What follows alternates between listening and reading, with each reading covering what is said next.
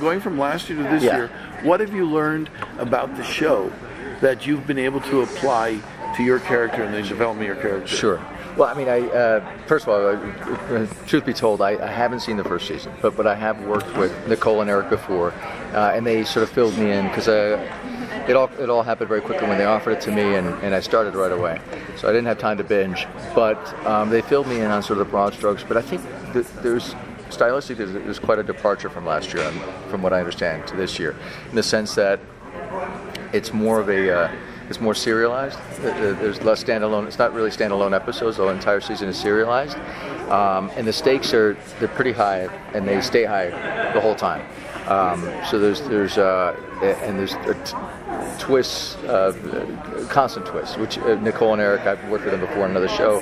Uh, they're phenomenal at, um, and and twists that are all earned. So, um, but I love the what I loved is there's there's a humor. There's no question that uh, they have a great sense of humor.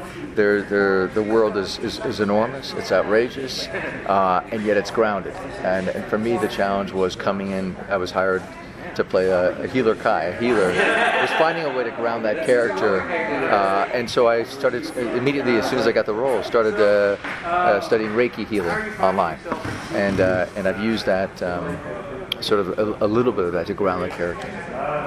Kind of flashbacking to your time on Bates Motel. Okay. Um, Alex was such a complex character. So how can like differ or compare Yeah. your character in Midnight Texas to that previous role in Oh, Bates Motel? okay, cool. That's a good question. I um, that character was it was so layered, and I think the difference between Bates and the show that that you know that was more of a psychological thriller, and this is really a sort of a genre. It attacks the genre of obviously of, of vampires and you know and, and another and, and supernatural world um, in you know, in, in a wonderful way, in a, in a really rich way. Um, I think the differences between the, the two characters are so vast. I mean, uh, Alex was so guarded, kept everything so close to, to the vest that that, and I sort of wanted to continue that until I knew that Norma he would fall in love with Norma Bates, and that and and have her character finally open my character up. Only spoiler alert for those who haven't watched the show to to to meet his demise because of that. Um, with this guy, he's he's pretty open. He's an open book. So for me as an actor to get to play a guy who was so closed to getting to, to, to play a character that is completely the opposite. He's a healer, so he has to be open and expressive. Um, was great. You know, as an actor, I always want to stretch. So this is uh, it was nice to get to do that. What were the challenges of dealing with so many, so much of a mashup? You have to kind of like think in your head, well, this is kind of like not quite this character, Right. or this kind of creature, or this expectation, but it is. You know, Right. there's vampires, but they're not necessarily vampires like we know vampires. There's, Right. you know, were animals that are not the were animals. that we that we know of exactly. I think that's what I love about it is, and, and that's what Nicole uh, uh, Snyder and, and Eric Charmelo have done so well is that they, they the characters are unique. They all have you know they all have unique qualities to them. They all have unique misbehaviors. There's like I said, there's a lot of twists within the character. So you you, you think they're one way, then the you, you know you're, you're wrong. That you know, so you're constantly second guessing. And even as an actor, you're like, oh, I thought my guy was more like this. Oh, and then you discover something else, some quirk about him, or you know. So so they keep you guessing as as actors and, and hopefully as an audience. Um, as you're filming, if you yourself had to spend a day in Midnight Texas, how would you? What would you do, or like, what would be your reaction to If this I had town? Uh, I'd worry. I really would worry because uh, you'll you'll see very quickly in the first episode uh, my character and, and and my wife Patience. We come to town uh, and and to open up shop here because we know this this town uh, as a healer. Uh, it has a. I could sense the energy uh, is ripe for, for healing, and it draws a lot of people who, who need healing to, to midnight. Uh, having said that, when you have people with ailments and when you have catastrophes as, as it happened last year, um, you're opening yourself up to uh, to a lot of lot of problems. So I would I would yeah I'm fearful. If if I were to stay here in midnight one night. I'd be scared, especially the hotel that I uh, end up opening in the first episode. I'd be a little scared of staying in my own hotel.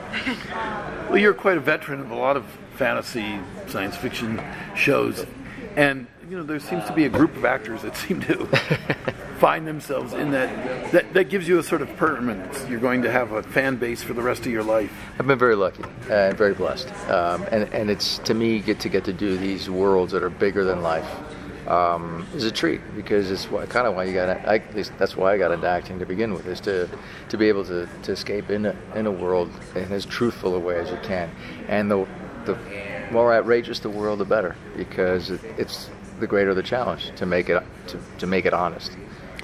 What were the things that were uh, the biggest challenge for you? Uh, the biggest challenge, I think, I think, is getting around the concept of uh, that I'm surrounded by vampires and banshees.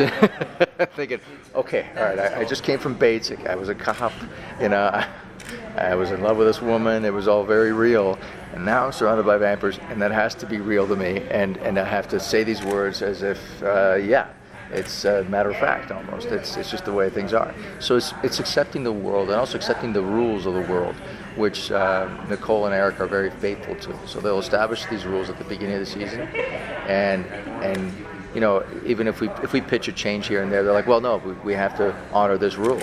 So that's great for the fans because I know once I, I, the, the, good die-hard fans are always sort of uh, you know they they're rightly so they are they guide themselves by these rules and because you're setting up this outrageous world you can't you know you know if there are no rules then anything can happen so. Um, you discuss the rules among yourselves? With the writers, you know, with the writers. I mean, also with the cast. Sometimes, yeah. And it, well, so we'll, we'll bring up a way of doing a scene, and then like, well, hold on a second. We, I can't do a healing this way because if I heal a supernatural person, it's different than healing a, a regular person. And so there's like there's there's there's differences, which is great. Those nuances are great. What's been like filming in New Mexico in this?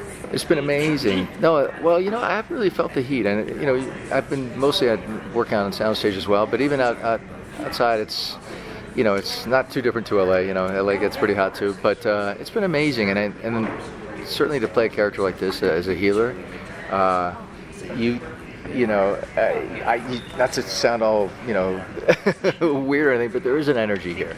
I, you know, and, and maybe it's just because I've been studying Reiki, but, but uh, to prepare for the role, there is a, there is a an energy. You, I mean, you can't help as you drive in, you know, in this beautiful vast landscape, to feel a, a different uh, set of energy. And, and we're, we're, it's pretty remote out here where we shoot. These stages are pretty remote. As you, as you guys drove in, you, you, you saw it's pretty vast. The sky is so incredibly vast and beautiful and blue, and the, topo- the topography is incredible. It's just so people have talked about the energy of New Mexico, specific, specifically in Taos, uh, but I definitely feel it here, even in Albuquerque.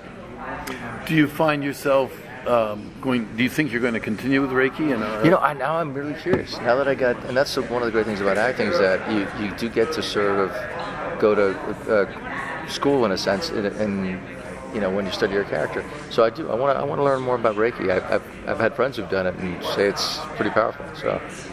Have you ever been able to discuss this with Charlaine? the the show and the characters? Do you talk to her? Uh, did she ever come on set? No, I haven't. I haven't met her. I never got to meet her. No, I didn't. Unfortunately, didn't get to meet her. I've, I've only been working with, with Nicole and Eric, who, took over the season, so I, I, didn't I didn't get a chance to talk to her about it. I wish I could have, but uh, maybe next time. You know, maybe next time I see her, we can get to talk shop. I want to steal one of your questions, which I thought was great. Do you, do you have favorite um, shows or books or yeah. um, uh, characters that uh, inform you in some way within this framework or outside of it? You mean for this particular show? No, it could general? be anything, but in maybe oh, in the genre, in the oh, idea in the of genre. fantasy. Um, it sounds like you're quite informed in the genre, not just yeah another I, actor. yeah, no, I.